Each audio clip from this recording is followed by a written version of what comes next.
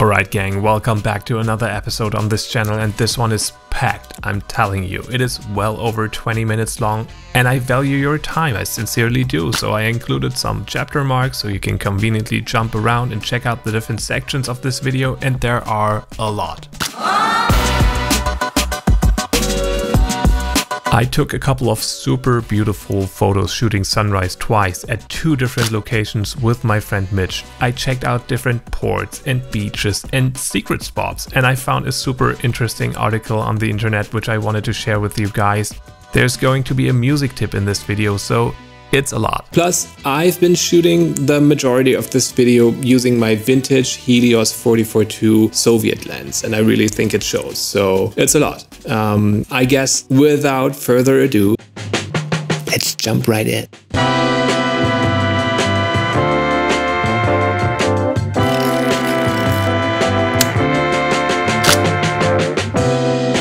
Okay,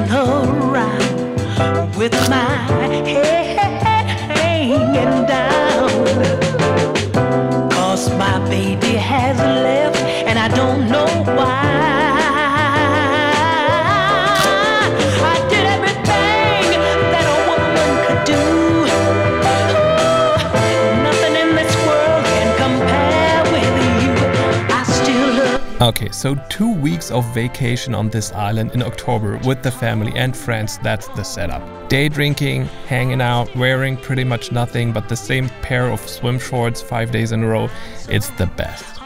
Anyway, after a few days of maximum chill, I'm kinda getting this itch. I have to get out there watching the sunrise. Now, if you're a parent and if you went through the first couple of months of a human being one or more times, you know what I'm talking about. Getting up earlier than absolutely necessary is something both your body and mind is rejecting in an incredibly visceral way. So I hit up my friend Mitch, who is a dad of four and located in Es Llombards, which is in the southeast of Mallorca. And I knew if he can do it, I can do it too. But Holy shit.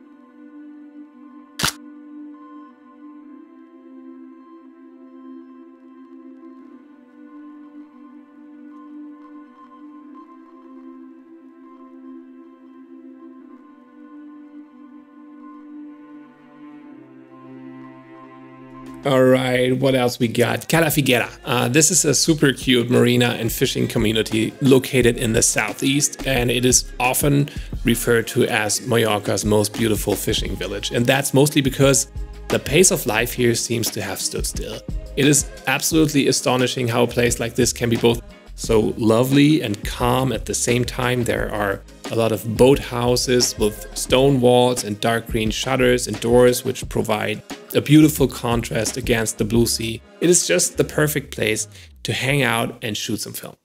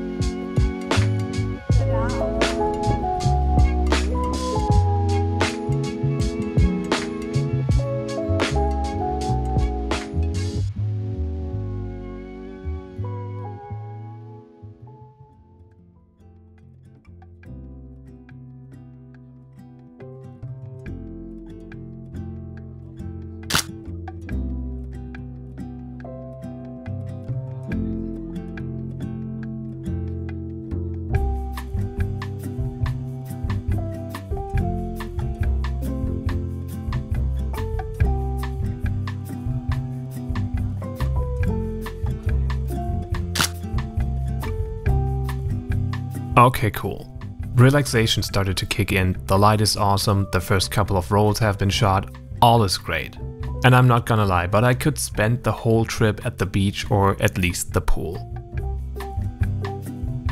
But once I got some sun hours, aka San Miguel's, in my system, I'm kinda open for discussion. And let's be honest, I haven't seen much of the island before. It's been time to see something new, like the mountains for example. In fact, the whole west coast is a blind spot to me.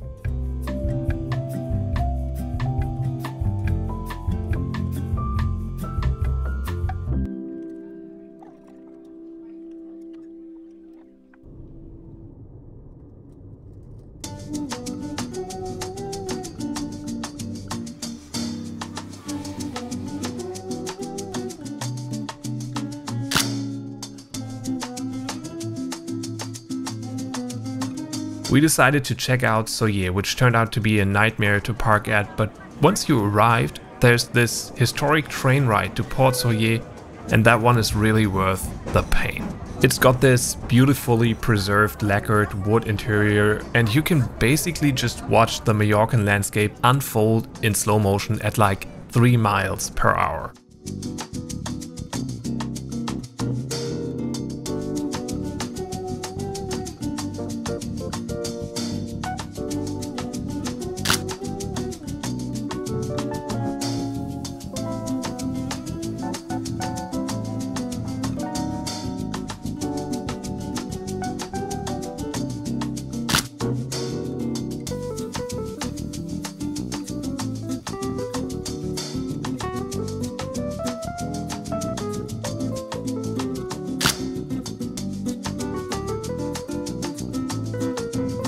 Now Port Sóller looks a little bit like the tiny version of Port Andratx, which is another place I haven't been before.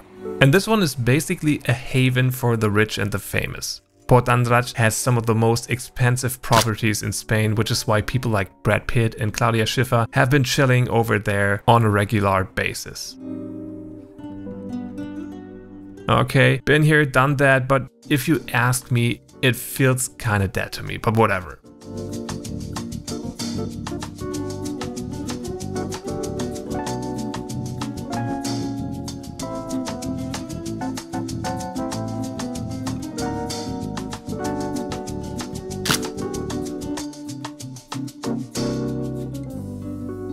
Why am I doing this? I mean, why do I get up at unholy hours in my holidays only to put an extremely expensive piece of paper into a 40 year old camera, doing some guesswork on the lighting conditions, putting days, if not weeks, of work into scanning the negatives, uh, scripting, editing, color grading, animating this video only to get a couple of hundred views and literally zero cash. And and apart from that, why are you here? Why why did you choose watching this over something else? It's because of a thing called effort heuristic. And I found this incredible article called The Appeal of Handmade in an Era of Automation, written by Adam Waytz on the website of the Kellogg School of Management. Check this out. The effort heuristic is a rule of thumb whereby people consciously or subconsciously judge the value of something based on the perceived effort put into it. So there's a professor named Ryan Buell, and he made a famous field experiment at a university dining hall. He assigned customers randomly to either observe workers preparing their sandwiches before paying or simply order a sandwich for pickup the following day. Now, you guessed it, surprisingly, those who watched the workers, despite longer wait times, reported enjoying their food more. And there's more. Intention signals purpose. There's this remarkable quote from Christian Louboutin, and he goes like this High heels are a complete invention, an extravagance. They're far from natural, but it's the impracticality that I adore. I prefer the useless to the useful. Now, I don't know if this is something that a machine is ever gonna think unless we program it to think and act that way. So with all of these mind-bending examples of complex text-to-video models, all I'm seeing is mankind striving for perfection. But what I'm actually resonating with are things like affection, despair, criticism, or effort. So will a machine ever be able to come up with a dead simple but helpful invention like a post-it? Or design a decades-lasting classic automobile like the Porsche 911? Will it ever be able to direct a music video like Childish Gambino's This Is America? I think creative fields like photography and even a YouTube channel like this one are proof that people like to watch people learn and grow and put effort into basically anything. Now, why am I doing this? It's it's because I enjoy the experience and you enjoy watching me putting the effort in. It makes me feel human, and one of those moments that really made me feel human was another sunrise, which my friend Mitch and I were about to catch at a monastery in the mountains, which was truly magical.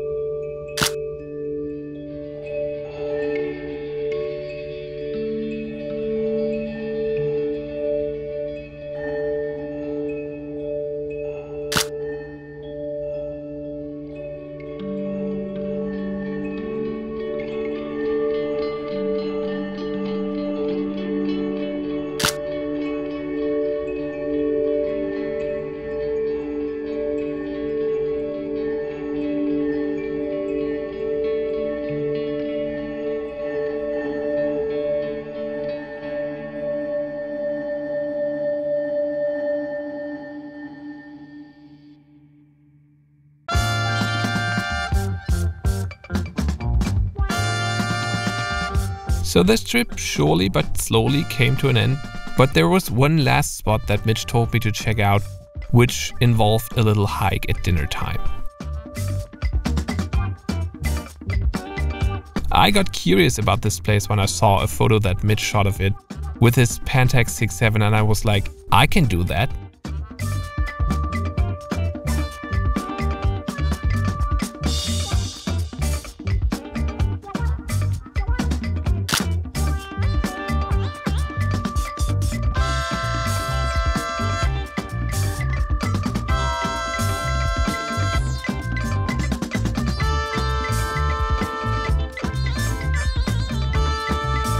Well, as beautiful as this place is, almost too easy to shoot, I have to admit that I was wrong. I couldn't do it, and I shouldn't even have tried to. It is a great example of the human touch. Mitch's approach to shoot this place was unique. He acts like a filter, and this filter will always be different from mine. A copy will always be a copy, which is why I'm confident that the art of photography and art in general will always have an edge over generative art. AI may even make human art more valuable as passion, a sense of purpose, and individual experience are things machines won't be able to emulate anytime soon. Isn't that a comforting outlook on the future?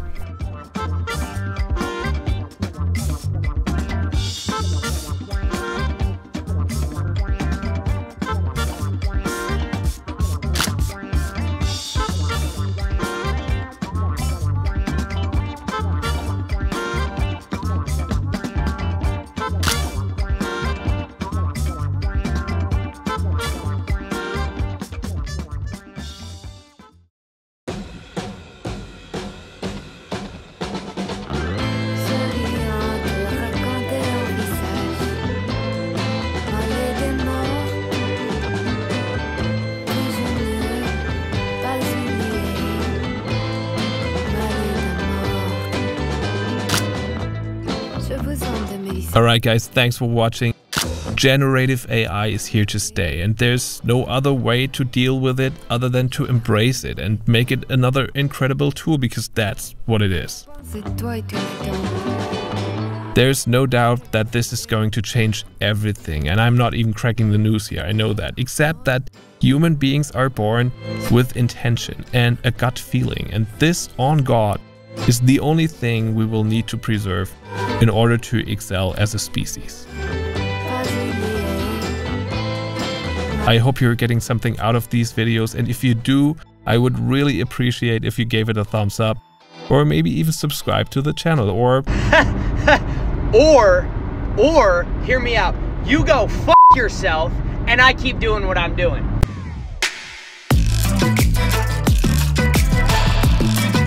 Oh, the music tip. Uh, you, you, have to check out Helado Negro's latest album, Phasor, and especially his song Best for You and Me. It's the bomb. Trust me. Okay, thanks. Bye.